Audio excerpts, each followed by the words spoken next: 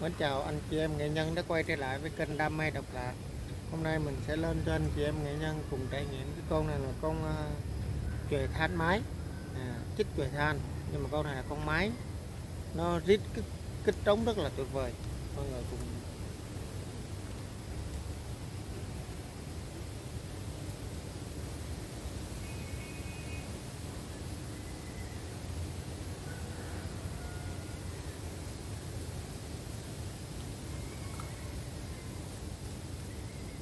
máy này mà làm mồi là rất rất là ờ, bén nha mọi người. Đó chị gì nó kêu đó?